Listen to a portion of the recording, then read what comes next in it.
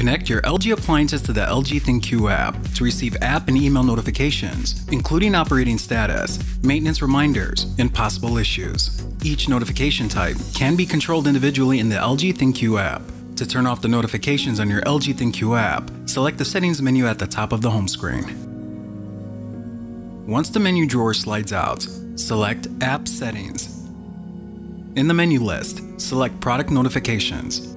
The product notification screen appears with a list of your connected LG appliances. To turn notifications on or off for all connected LG appliances, toggle the on-off switch located at the upper right. Turn notifications on or off for each individual appliance using the toggle switch for that appliance.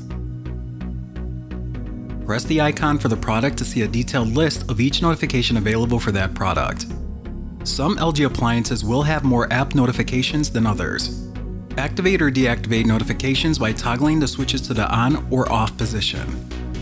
Press the back button to navigate back to the app settings screen.